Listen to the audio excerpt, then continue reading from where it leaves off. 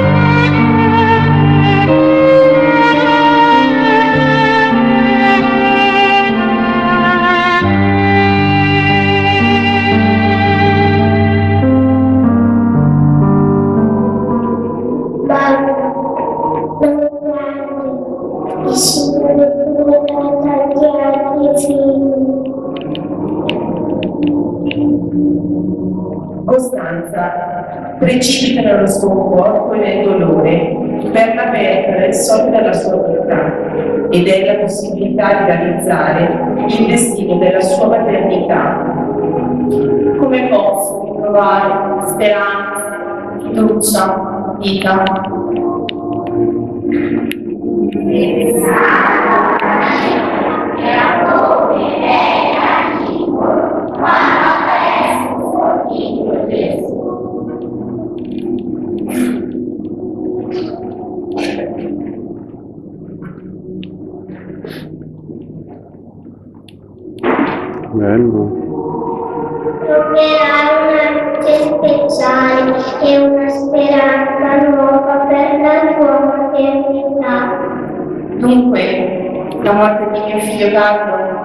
Impedirà di essere nuovo madre.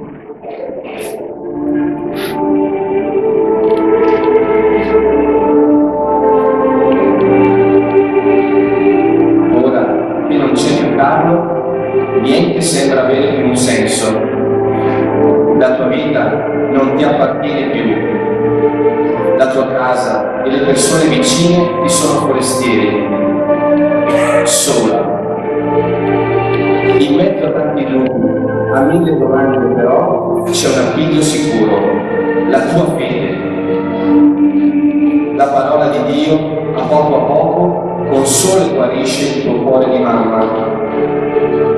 La contemplazione della Santa Famiglia di Nazareth è per te conforto e speranza.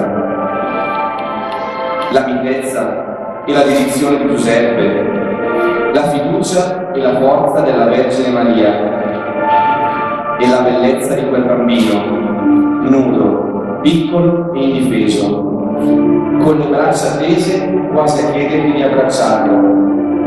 Una luce inizia a squarciare al buio. Dopo ogni morte c'è la promessa della risurrezione.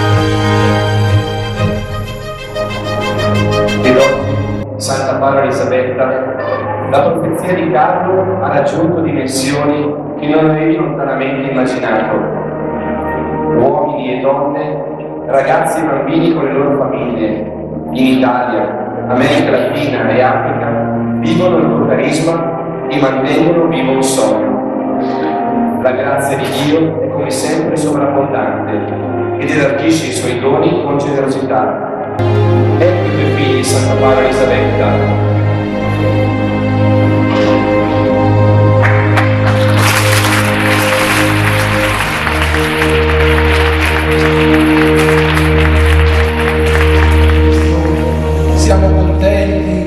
celebriamo un compleanno, possiamo dire così, eh?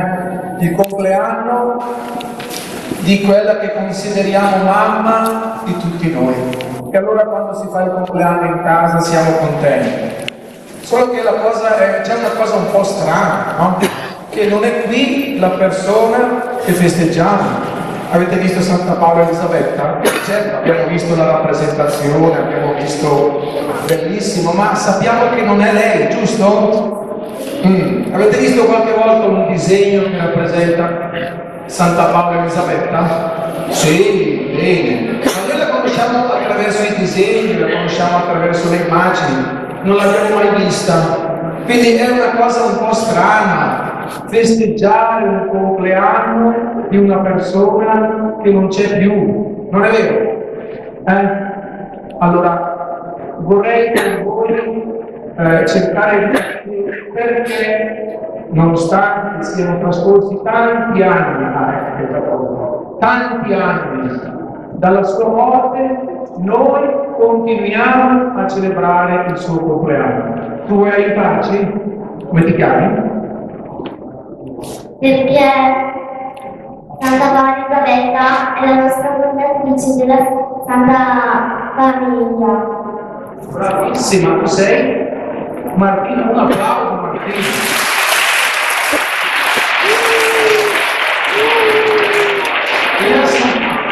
Semplificato tutto, ha già spiegato. Noi celebriamo il suo compleanno perché lei è per noi lei ha detto fondatrice, una parola un po' difficile. Cosa vuol dire? Ha iniziato una nuova famiglia, quella che abbiamo visto nella rappresentazione. E questa nuova famiglia oggi siamo tutti noi. Ecco perché è il giorno della nostra festa.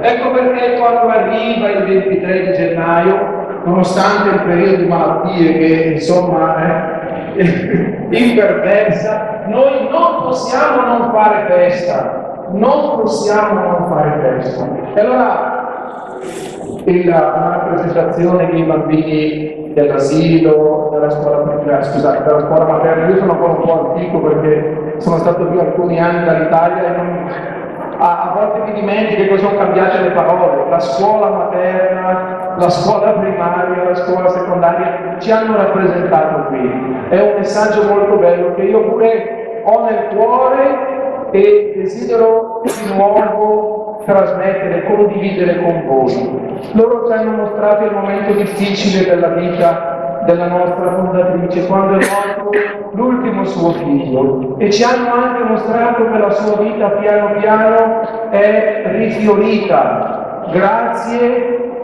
alla fiducia che lei ha avuto nel grande regalo della vita che viene da Dio.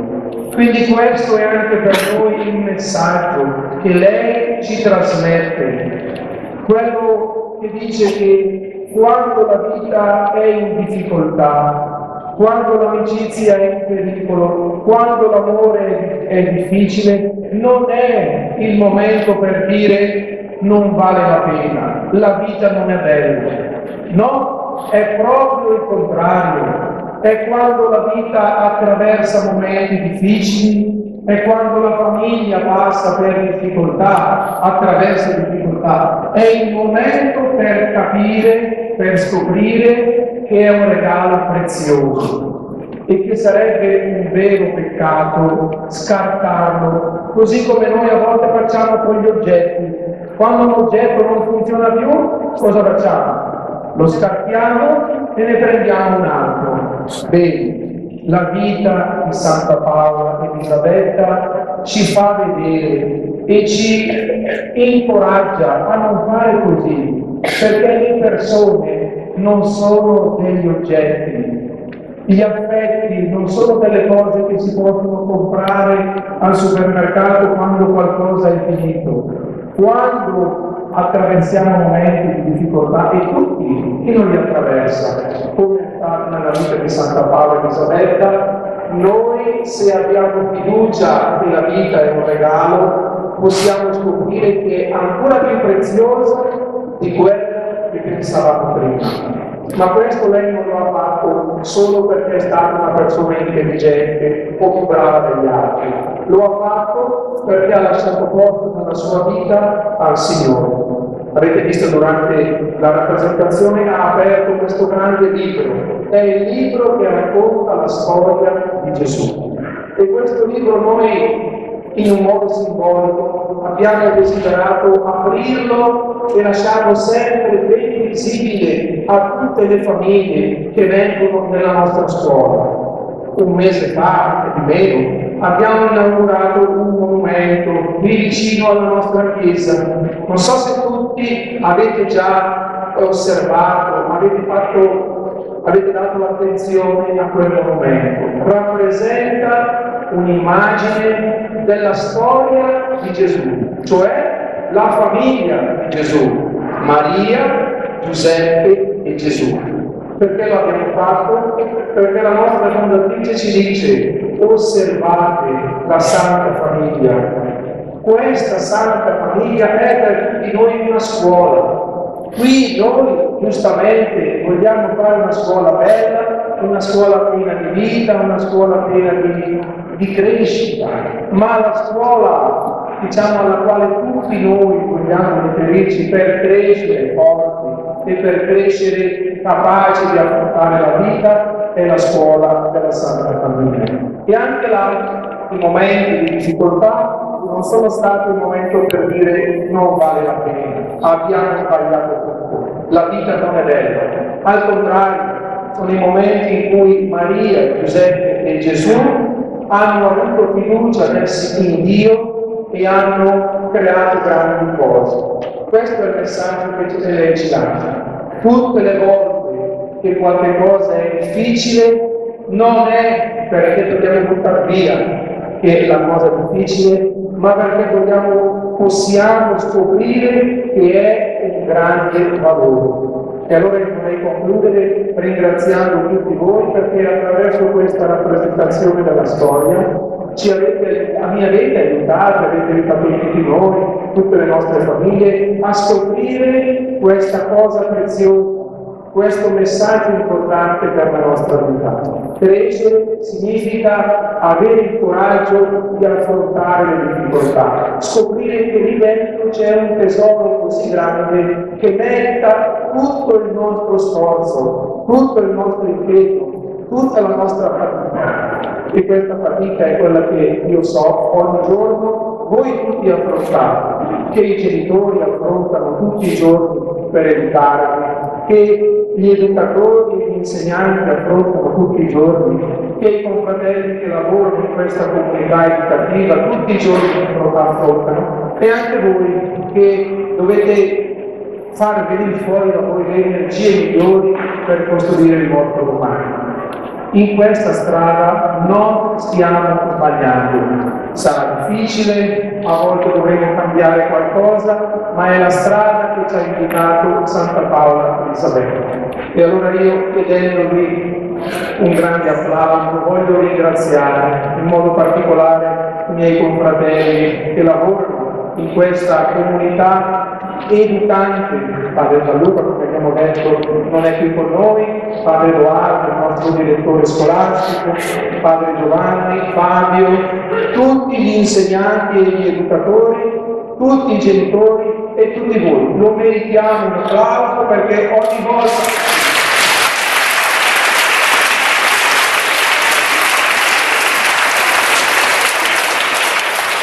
È un applauso di incoraggiamento perché ogni volta troviamo qualche difficoltà nella nostra vita, ora lo sappiamo, non è il momento di fermarsi, non è il momento di tornare indietro, ma è il momento di guardare con fiducia al futuro. E se abbiamo qualche momento molto molto difficile, quando passiamo davanti alla statua della Santa Famiglia, facciamo una preghiera a Gesù, Maria e Giuseppe.